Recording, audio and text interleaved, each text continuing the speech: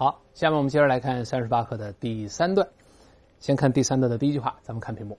这句话说：“Boiling is always a good way of treating water。”他说这个煮这个这个煮开水啊，总是一个处理水的好的方式。Of treating water 是后置定语来修饰前面这个 way 做某事的这个方式。这个 boil 就是煮沸的意思。另外我们看做某事的方式，这个 way 后面的搭配可以记住一下。Way of doing something 是这个 way 这个词常见搭配之一，就做某事的方式啊。咱们看一些例子。Is there any way of contacting you while you are in Africa？我说你在非洲的时候有没有一些方式可以跟你联络呢？联络的方式 way of contacting you，这是做某事的方式啊。当然，这个 way 后面加 to do 也行。哎，这两个搭配没有什么区别，可以替换。Way to do something 也是常见搭配之一。那比如说。What's the best way to learn a language？学一门语言最好的方式是什么呢？哎，way of doing，way to do something 都可以。这是做某事方式常见搭配。把这搭配记熟了，咱们写文章，咱们讲话时速度快而且自信。好，他说这个煮开水把它煮沸，总是一个处理水的好的方式。啊，后面进一步说，咱们看第二句。There are some hotels supply boiled water. on request, and this can be used for drinking or for brushing teeth. 他说有那么一些宾馆呢，呃，一经要求的时候呢，他可以给你提供这开水，这个宾馆里有开水，开水供应。On request 就是一经要求，就有人要求的情况下，就我要打电话，我说给给前台，我说要水喝，他给你提供开水。Boiled water 就煮开后的水叫开水。如果用 boiling 呢，正在滚开的水了，这个含义不一样啊，并且 and 并列连词说这什么呢？这个就是这个这个 boiled water 的提供的开水怎么样呢？可以被用来饮用，或以被或者是被用来刷牙都行。Be used 可以跟 for 来搭配，use something for something，把某个东西用来做什么？这个 for 跟动词 use 也是常见的固定搭配，这可以同时把它记住。那。当然，后面加 to do，to do 也行啊，也没有错。那这个搭配有灵活性啊。这个我们首先先看一看刚才老师说的这两个搭配的区别。那 boiling water 就滚开的水，这都咕嘟咕嘟咕嘟的冒着泡的滚开的水。那但 boiled water 就开水，它可能现在温度不是特别高，但煮开过，所以叫开水。本文中用的是第二个，就可这个可能没有一百度，但可能六十度，但这个存在煮开过，这就开水。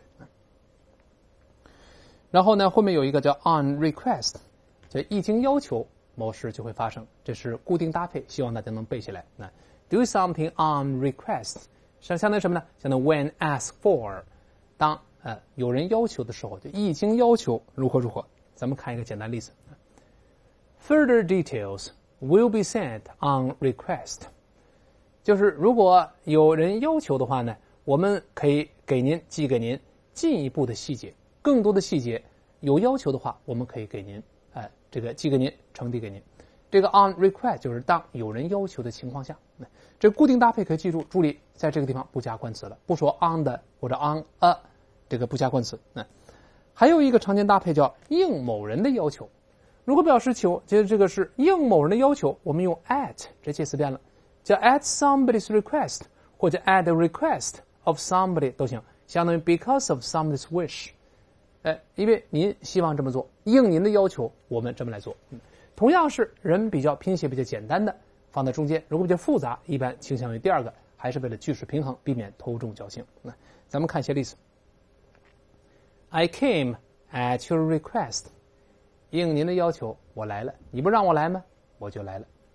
再看，那么 you on your 吗？这 you 太短了，放在中间变成 your 就好了。再比如说，The study was done at a request。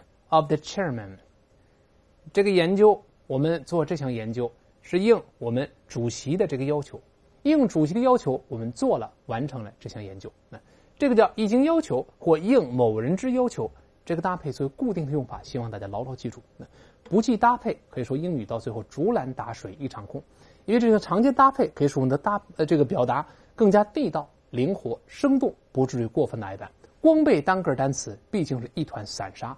很难真正搭起大的框架，所以好多常见搭配，希望大家牢牢记住。否则的话，不但咱们表达生硬，而且阅读和听力也很难真正过关。本文中这个 on inquest on request 已经要求，那么有些宾馆呢提供呃开水，并且这可以被用来饮用或者刷牙。Use something for something 就是或者 for doing something，用某个东西来做什么，这是固定搭配。呃，for 经常跟动词 use 一块搭配。咱们看一些例子。They were using animals for scientific experiments。他们使用动物来进行科学实验，这用的是 for something。再看一个 for doing something。Bob uses the van for picking up groceries。这个鲍鲍勃来使用这个 van 大篷车来干嘛呢？来这个搭载上我们的杂货，就把杂货放到这个车上拉走。那这是 use something for，呃，后面跟某个目呃是某个目的。 For something 或 for doing something，这是 use 常见做动词搭配之一啊。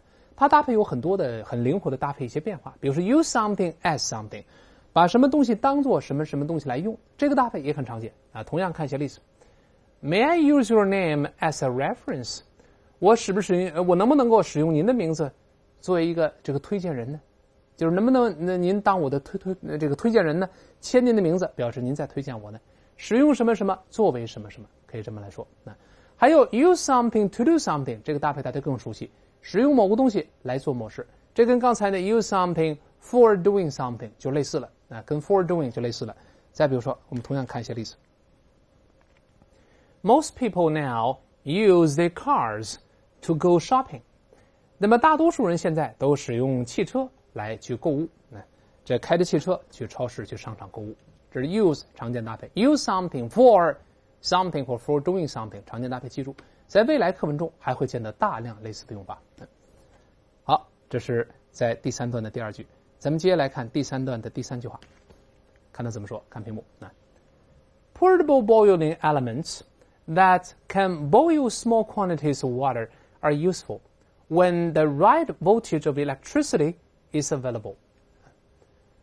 他说：“这个 portable 是便携式的，好拿的。啊，boiling elements 就可以煮开水的这种电阻丝。这个 element 在这不是元素，而是表示那个电阻丝，它一经通电会会发热，可以用来烧开水。啊，那么可以呢用它来烧小量的这个水，煮沸小量水的这种电阻丝。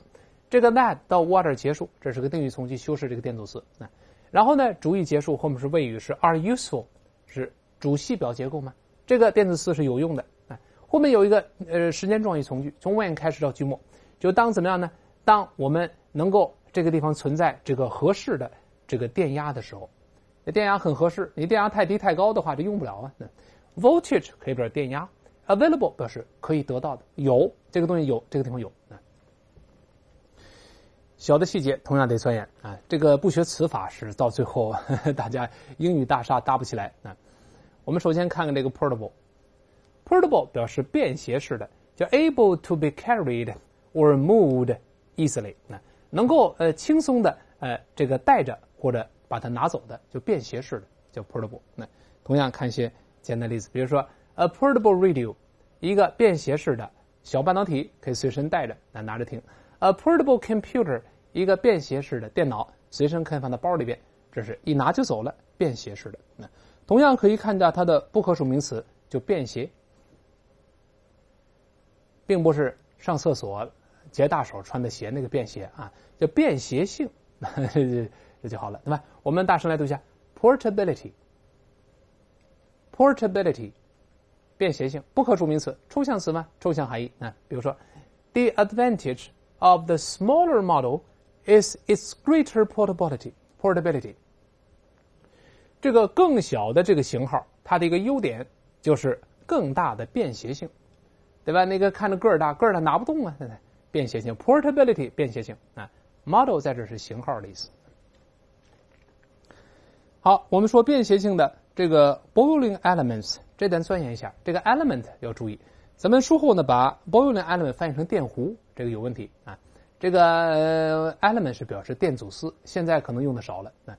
在李老师，我们上大学的时候呢，经常还有这么一个，就是可以放在暖瓶上面的一个下面一个长长的一个电阻丝。那暖瓶里边灌满水之后，把这个放在暖瓶上面插上之后，能把暖瓶的水烧开。这种叫 boiling element。咱们先看这个 element 是什么意思？element 在这儿是可数名词，表示 part of an electric kettle etc。that gives out heat，就是 electric kettle 才是电壶，电壶的一部分，它可以发出热的这个东西，就是我们常说的电阻丝，就电壶供热的这个部分。那那 boiling elements 有的时候单独可以售卖的，这个比较便宜，直接给插到暖壶里边，就能把暖壶里的水烧开。那为了更直观，咱配一图片。大家可能有的上年纪的同学可能记得，这个现在可能慢慢被淘汰了。就 boiling elements 就这么一个东西啊，你看下边是一个长长的这个金这个这个这个金属的东西，里边带着电啊，把它插到水里面，能把这个周围的水把它烧开，这叫 boiling elements。这便携式的放在包里就能拿走了。嗯，这个电阻丝呢，就能够把小量的 quantity 表示数量。注意 quantity 这个词修饰可数名词、不可数名词都可以。它表示数量的时候，修饰可数不数都行。啊，本文中修饰水完全可以。那这个东西有用，当合适的 right 不要翻成正确的，是合适的，这多一次。那合适的电压可得的时候呢，电阻丝烧开水确实管用。那后面最后一最后一句话，在第三段的第四句。啊他说什么呢？Refuse politely any cold drink from an unknown source。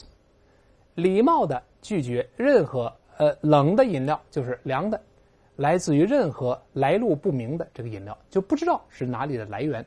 这种凉的这个饮料，我们礼貌的拒绝。对不起，我现在不渴，这个不这这个这个这个这个不要喝。From an annual source 可以看到后置定语修饰这个 drink 就好了。好。第三段，我们跟老师就看到这里。